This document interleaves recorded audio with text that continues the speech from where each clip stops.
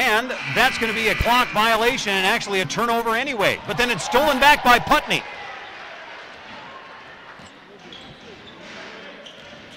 Putney's going to drive. Hangs in the air, finishes.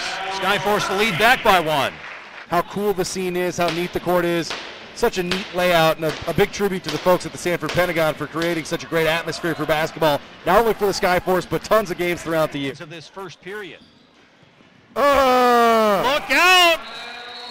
Raphiael Putney off the feed. Left Putney alone. nice job to split the defenders there with the bounce pass. No pass. one else within 30 of Duncan Robinson's output.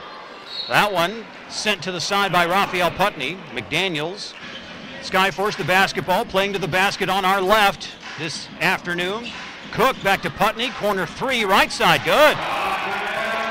That every game is going to wow you with his offense, but boy, he is certainly playing well. They're going to give him the and one there. As you can see, he gets hit, not putting the ball back down. Putney with And the Skyforce again working around the perimeter. Pull up jumper for Raphiael Putney.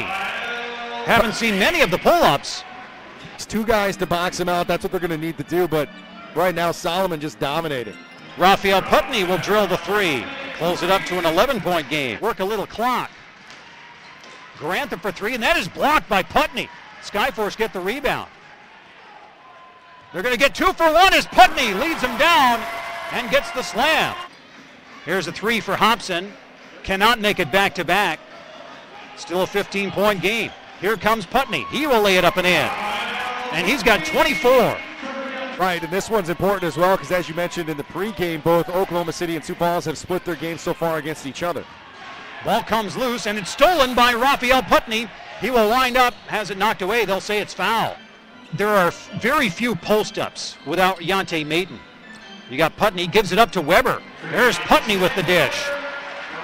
You can see the upside here, and hopefully, folks this afternoon enjoyed watching number 30 play. He put on a show. Putney for three, and he will nestle it in the nylon.